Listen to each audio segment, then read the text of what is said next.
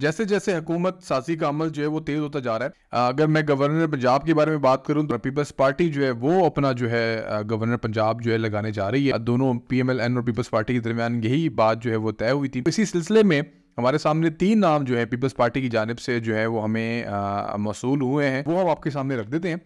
कमर जमान कायरा जो है उनका नाम हमारे सामने इस वक्त आया है और मोहम्मद नवीद चौधरी जो है उनका नाम हमारे सामने आया है और नंबर तीन पे मखदूम अहमद महमूद साहब। इन तीनों की अगर मैं प्रोफ़ाइल के बारे में अगर बात कर दूँ तो अगर मैं सबसे पहले बात करूँ मखदूम अहमद साहब की अगर बात करूँ तो ये अड़तीसवें गवर्नर पंजाब रह चुके हैं।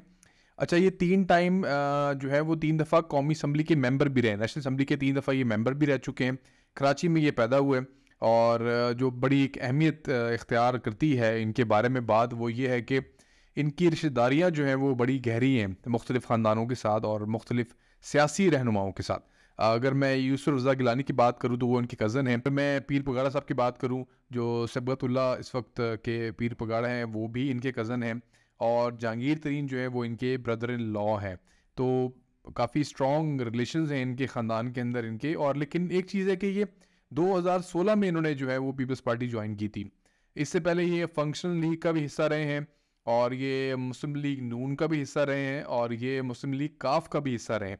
तो उनकी काफ़ी एक बैकग्राउंड भी है मुख्तलिफ़ पोलिटिकल जमातों के साथ भी लेकिन पीपल्स पार्टी से बात की जाए तो पीपल्स पार्टी से इनका ताल्लुक जो है वो 2016 में डेवलप हुआ। इनके मुकाबले में साउथ हाँ, पंजाब से इनका ताल्लुक है लेकिन कराची में जो है ये पैदा हुए थे। दूसरे नंबर पर जो मोहम्मद नबी चौधरी हैं अगर मैं उनकी बात करूँ तो वो सबसे पुराने जियाल हैं। 1969 में स्टूडेंट पॉलिटिक्स जब उन्होंने ज्वाइन की थी तो उस वक्त पीपल्स पार्टी उस वक्त वजूद में आ रही थी।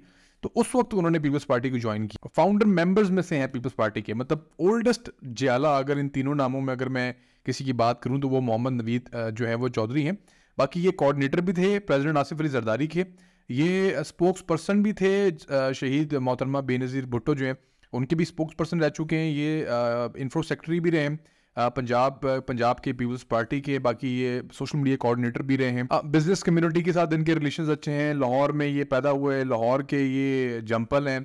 इनकी तालीम सारी लाहौर की ये पंजाब यूनिवर्सिटी की स्टूडेंट पॉलिटिक्स में भी हिस्सा लेते रहे। वहाँ पे भी पीपल्स पार्टी के लिए काम करते रहे। तो मेरे ख्याल से गवर्नर पंजाब के अहदे के लिए सबसे मौजू जो है वो इस वक्त उम्मीदवार मुझे मोहम्मद नवीद चौधरी साहब जो हैं वही नज़र आते हैं। ऐसा ही गवर्नर पंजाब होना चाहिए और वो सबको साथ लेके चलने वाला हो। तो मेरे ख्याल से ये क्वालिटी इनके अंदर है बिज़नेस कम्युनिटी हो या बाकी सियासी जमातें भी हो तो ये सबको साथ लेके भी चल सकते हैं। तो इनका भी नाम जो है वो आ रहा है बीबी की पॉलिटिक्स में। बीबी जो बेनज़ीर भुट्टो हैं, उनकी पॉलिटिक्स में भी बड़े एक्टिव रहे।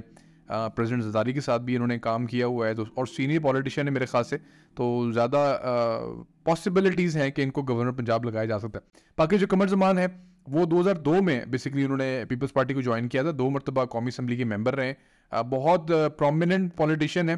पंजाब में काफ़ी उनका रोल है पीपल्स पार्टी को लेके और गवर्नर रह चुके हैं बेसिकली गिलगित बल्तिस्तान के और कमिश कश्मीर अफेयर्स के भी मिनिस्टर रहे हैं। इंफॉर्मेशन मिनिस्टर और इंफॉर्मेशन सेक्रेटरी भी रहे हैं।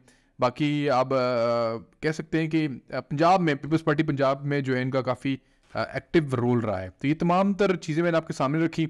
अब आने वाला वक्त बताएगा कि इन तीनों में से, या मोहम्मद सरवर साहब की बात भी की जा रही है, लेकिन मोहम्मद सरवर साहब दो मरतबा गवर्नर रह चुके हैं, और पीटीआई और पीपल्स पार्टी और पीएमएलएन के भी वो गवर्नर रह चुके हैं। अभी उन्होंने पीपल्स पार्टी ज्वाइन की है। कह सकते हैं कि उनको, उनके भी चांसेस हैं, लेकिन मेरे ख्याल से गवर्नर पंजाब पीपल्स पार्टी जो है, अब वो किसी ऐसे शख्स को लगाने जा रही है जो कंट्रोवर्शियल ना हो, जिसका कोई माजी इतना ख़तरनाक किस्म का ना हो, जिसके बारे में लोग उंगलियाँ उठाए। तो ये आने वाला वक्त बताएगा, कोई भी गवर्नर पंजाब हो सकता है और किसके हिस्से में जो है वो ये निश्चित ये अहदा निकलता है, ये आने वाला वक्त बताएगा। ये थी हमारी एक छोटी सी इन्फॉर्मेशन गवर्नर पंजाब को लेके, बाकी और मुख्तलिफ़ चीज़ों के ऊपर भी इन ताला बहुत जल्दी लॉक करेंगे। बहुत शुक्रिया थैंक यू